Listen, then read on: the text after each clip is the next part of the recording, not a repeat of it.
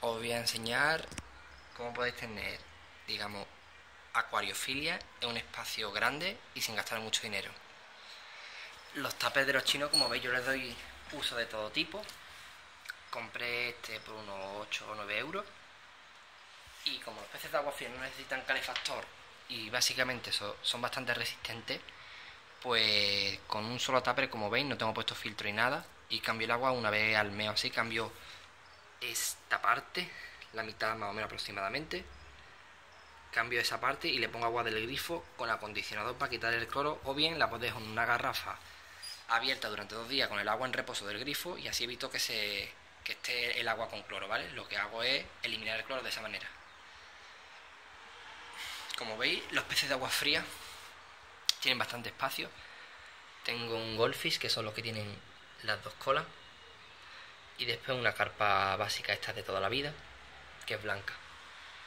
Les puse un poco de sustrato para que no se viera tan feo. Les he recogido tres piedras que las herví para quitarle cualquier cosa que tuvieran mala. No sé si estas piedras serán adecuadas para el, acuario porque hay algunas que liberan sustancias malas. Pero yo por ahora no he tenido problema y llevo ya con ellas unos cuatro meses así. Y los peces no se han muerto. Así que supongo que la elección que hice fue buena. No liberan sedimento ni tampoco le están soltando creo cal ni nada porque el agua no se pone pues, blanca ni tiene un color raro ni nada. Los peces, comentaros que para el mantenimiento yo les tengo puesto un comedero de esto automático porque hay veces que no estoy en casa y mm, estoy tres, días, tres o cuatro días fuera, entonces opté por esta opción, pero normalmente se recomienda dar la punta del cuchillo de juntar la mantequilla, solo sería la punta para un solo pez. Se recomienda darle poca cantidad y nunca que sobre.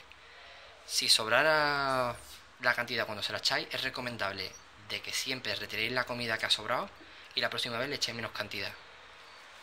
En el, abuso de comida lo que va a provocar siempre, si, sobre, si sobrepasa lo que no pueden comer, se va a ir hacia el fondo del agua y lo que va a hacer se va a descomponer esa comida, va a contaminar el agua y los peces estarían respirando agua contaminada.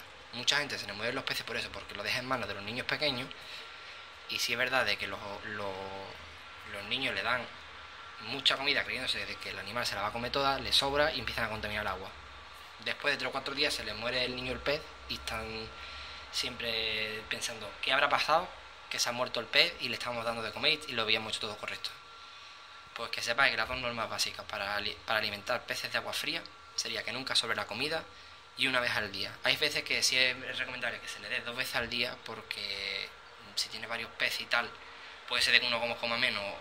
Si por ejemplo tenéis uno o dos, sabéis que los dos, si le echáis un poco, se lo van, estáis viendo cómo se lo van a comer. Pero si tenéis varios, puede ser de que uno coma y el otro no coma. Entonces, si se lo echáis dos veces al día, pues sí es verdad de que se ven cuándo se lo puede comer uno. Y si no, pues la próxima vez, pues tiene otra opción de que se la pueda comer el otro.